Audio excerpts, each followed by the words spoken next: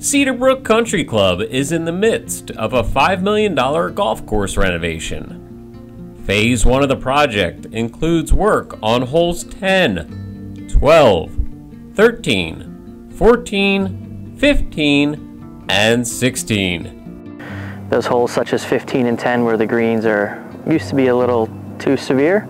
Uh, so to watch it all change and change for the better and see how well it's received amongst the membership has been really special.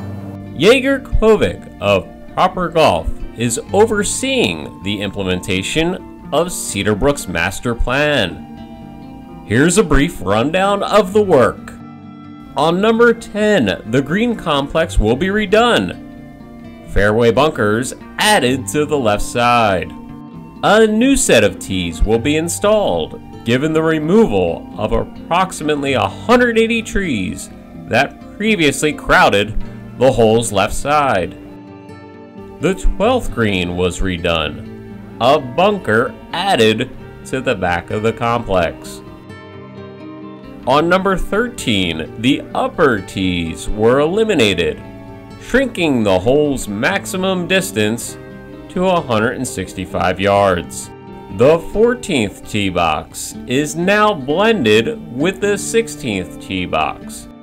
The 15th green, transformed entirely, became a punch bowl in nature, extending to 7,000 square feet. The fairway bunker here was enlarged as well. The 16th green was also redone. The complex raised and bunkers added.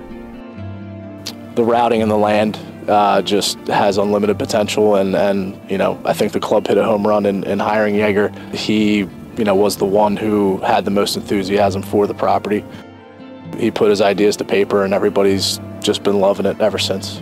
When you have uh, awesome superintendent like Tim and you have modern green speeds, you know, fractions of an inch like this make entirely the difference in uh, fun versus too difficult and playability. We're just trying to do justice to these amazing green sites.